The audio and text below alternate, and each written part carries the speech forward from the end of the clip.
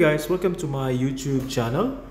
This is an introduction for inventory management. This is to track the ingredients.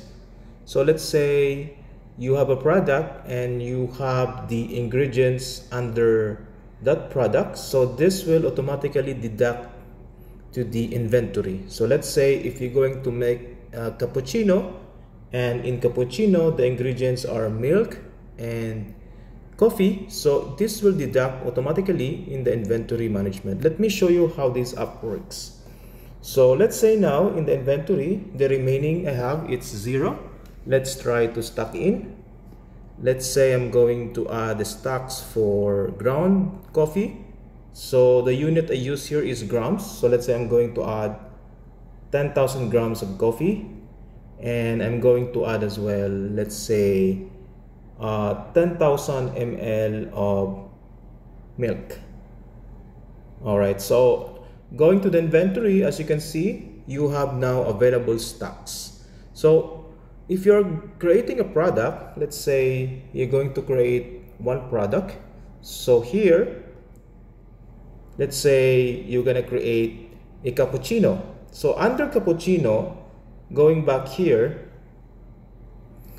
cappuccino is consists of milk and coffee beans. So 250 ml of milk and 14 grams of coffee. So if I'm going to make an order or punch an order, this should deduct here in the inventory. So let's try. Okay. I'm going to choose cappuccino. Let's say one cappuccino. All right, let's try only one in fact, I can also add more items in this. So for this example, let's try one items only. And over here, as I go back, so it should deduct 250 and 14 grams to the inventory. So as you can see here, um, it's uh, it, it's deducted. So the milk become 9750, which is 250 ml we deducted, and the coffee also, let's try another one. Let's let's see. I'm going just to use the Americano, which is only 14 grams. Let's say I'm going to put four Americano and save. So here in the Americano, it's composed of 14 grams of coffee. So 14 times 4, it should deduct to the inventory. So it will be 56 grams.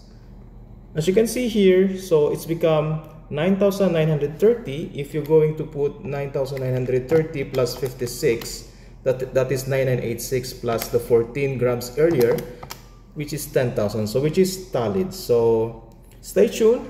I'm going to upload very soon the procedure or the instruction on how to do this ingredients inventory management. All right Thank you so much for watching and see you next time in my next video.